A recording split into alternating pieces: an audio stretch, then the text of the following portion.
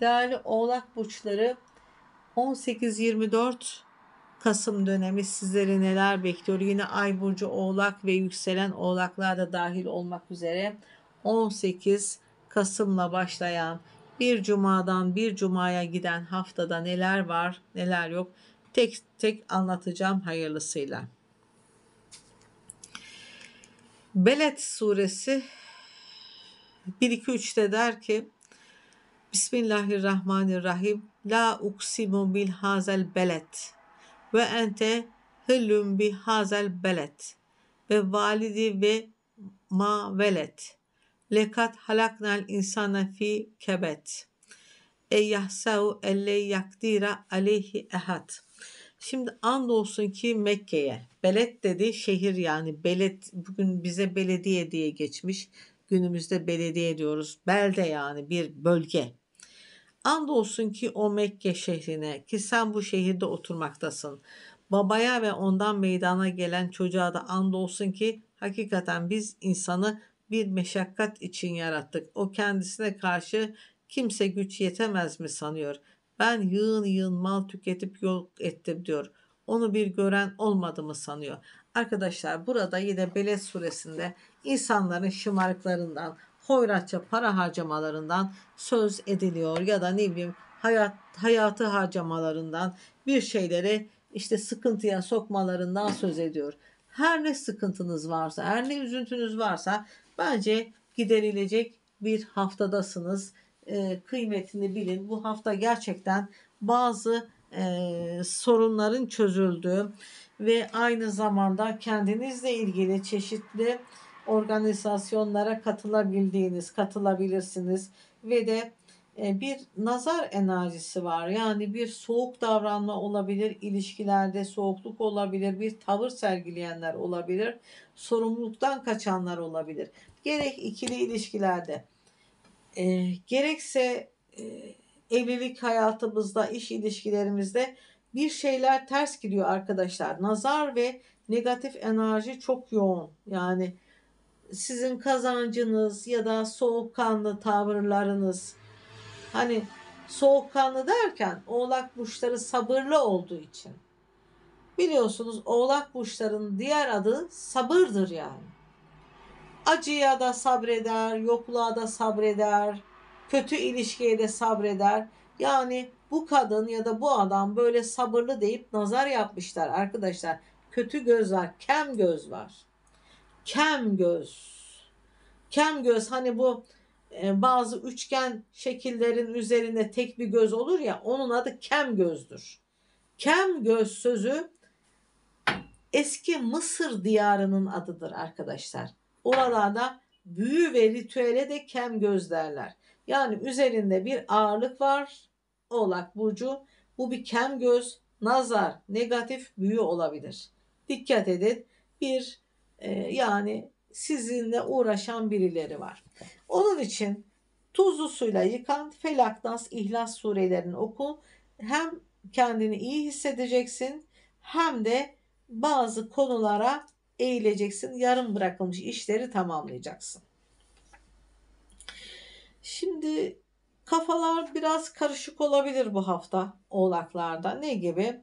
Şimdi finansal e, konularda sanki bir yatırım yapmış da olmamış gibi olabilir. Ya da bir yerden para bekliyorsun, şaşıyorsun para gelmedi, niye gelmedi ya da bir kara diye geçmedik gibi bir nevi böyle maddi kaygı içerisindesin. Bu davranışlarından vazgeç, maddi konularda rahatlama olacak, durumunda iyileşme olacak. Beklediğin evrak gelecek, hiç canını sıkma, Cadının sıkıldığı, üzüldüğü de varsa hayır e, sonu iyi geldi.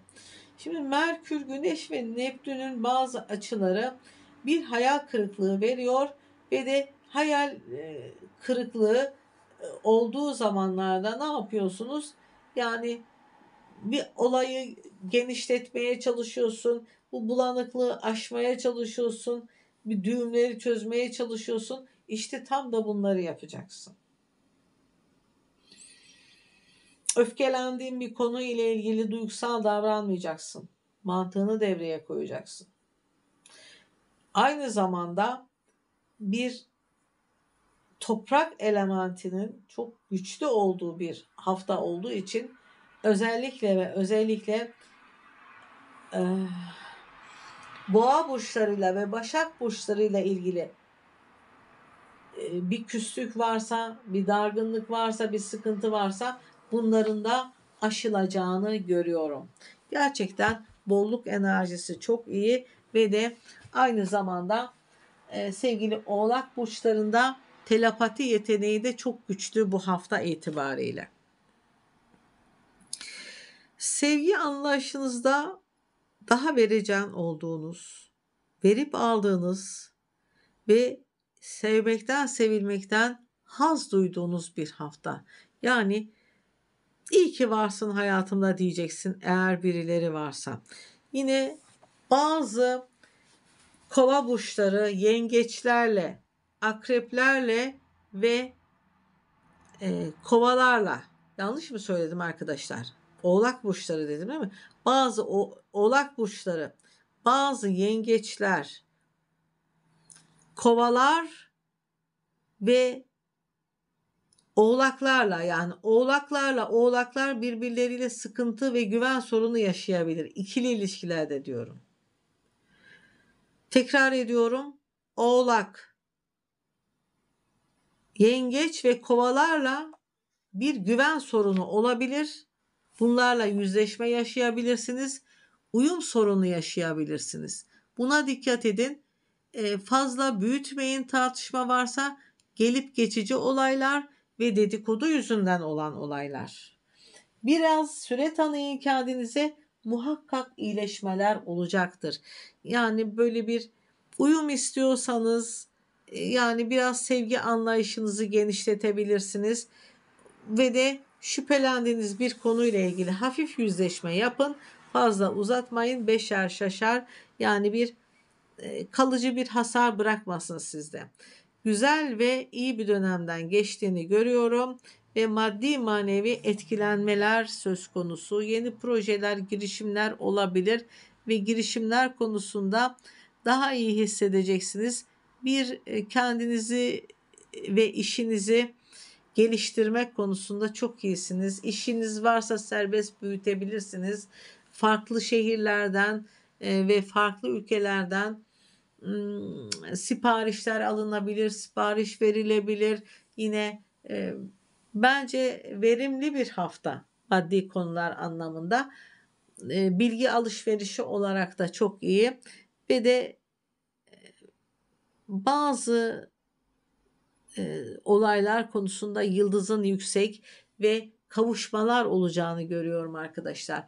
Uzaktan gelen birileriyle kavuşmalar olacak ve iyi niyetle hareket edeceğiniz, iyi niyet göreceğiniz bir haftadan geçiyorsunuz. Yanlış anlaşılmalar varsa bunun da giderileceğine şahit olacaksınız. Ve bazı yüksek ihtimalleri yani ne kadar hedeflerini yüksek tutarsan onların gerçekleşmesi o kadar kolay olacakmış. Yani hedeflerini koy, yüksek hedeflere doğru git. Her şey yerli yerinde ve iyi şekilde olacak. Zikrinizi veriyorum efendim. Ya muhit zikri tekrar sayısı 124'tür. Evet yaratılmışları öldükten sonra dirilten anlamındadır. Ya muhit 124 yani umudunu kestiğin bir şey yeniden canlanacak ve yeniden bir araya gelmenin keyfini süreceksin.